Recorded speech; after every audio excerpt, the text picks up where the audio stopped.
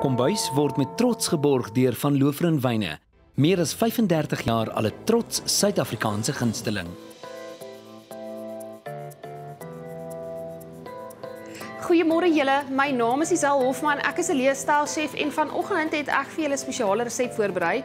Juist omdat ek gister toe ek in die winkels ingeloop het, blou bessies gesien het en net nie kon weerstaan om hulle van die rak af te haal nie.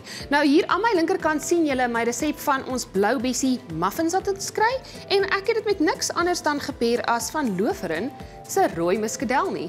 Nou waar begin ons en wat maak ons? Nou die resep is eintlik baie baie maklik.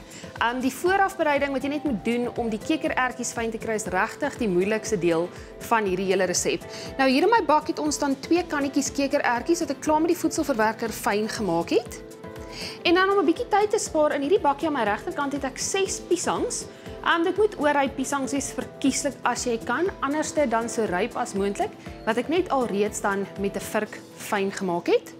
Dan gaan ons van 2 eetlepels olyfolie gebruik maak. Die rede hiervoor is is um ek probeer juis anti-inflammatoriese bestanddele in hierdie resep inkry en dit is natuurlik een van my gunstelinge. Dan het ons 2 teelepels vanilla essence, 3 teelepels karamel essence. Hierdie is 100 gram amandelneutbotter, ook die alkalizing elements en dan natuurlik soos ek altyd sê anti-inflammatorie. Dan hierdie is so 360 gram van hierdie lieflike blou bessies. Jy sal sien ek het hulle net vooraf gewas. Um en ja, hulle is so vars van die rak af soos wat jy hulle kan kry. Um jy kan ook natuurlik van die gefriesdes gebruik maak, maar ek sê altyd vir mense, dan gaan jy dat hulle heeltemal moet ontvries en wees dan net versigtig want hy mag dan dalk ekstra vog hê wat dan die muffin aan die einde van die dag 'n klein bietjie pap kan maak, so dan gaan jy hom net bietjie langer moet bak. Dan het ons 'n 100 gram amandelmeel hier. Ons gaan van 4 groot eiers gebruik maak. En dan hier voor my is die laaste 3 bestanddele. 2 teelepels uh, woestynsout het ons hier die fyn enetjie. 2 teelepels het ons koeksoda en dan hierdie is 6 eetlepels rou heuning. So waar begin ons en wat maak ons? Nou ek dink eerstens wat ons gaan doen is ons gaan gou-gou hierdie fyn gemaakte piesang net hier saam met ons kekerertjies inkrap. Daar sy. Wees maar versigtig om die piesang nie te lank voor die tyd fyn te maak nie want as hy donker raak, is die muffin dan geneig om ook donkerder te bak. Dan gaan ons ons 100 gram amandelmeel bysit. Dan ons 2 eetlepels olyfolie. Ons 2 eet ehm um, hierdie is 2 teelepeltjies ons vanilla essence natuurlik of vanilla geursel. Ons 3 teelepeltjies karamelgeursel. Dan het ons ons koeksoda. Ons woestynsout. En die laaste twee bestanddele wat dan nou moet ingaan is ons amandelneutbotter. Soos ek gesê het, hierdie is ons 100 gram. Jy kan natuurlik ook van gromboontjie botter ook gebruik maak, maar dan het jy nou nie die voordeel van jou um alkalisiese elemente soos wat die amandelneutbotter in het nie.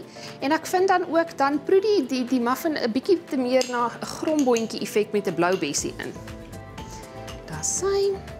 En dan laastens ons rou heuning teen kamertemperatuur. Hoe lieflik trou al hierdie kleure in die bakkie vir oggend.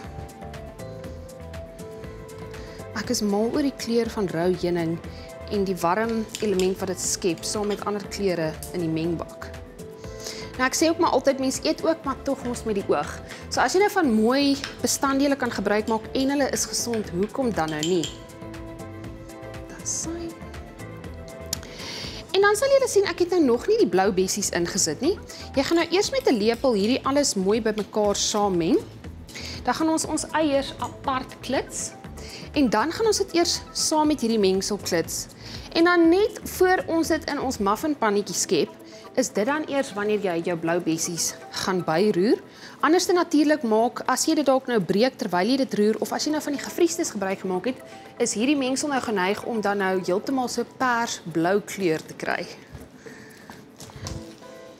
Iets belangrik met die kekerertjies wat jy dalk net moet onthou is, um, ek het dit gewas sommer in vergietes en die rede daarvoor is jy moet van al die die kekerertjie jy moet seker maak dat jy was al daai die ekstra vog in wat in die kannetjie is saam met dit af. Anders het dit maar 'n halfe tipe van 'n ertjie smaak. En ons is nou nie juis agter die ertjies maak aan vandag nie. OK. Hierdie mengsel is dan nou basies reg.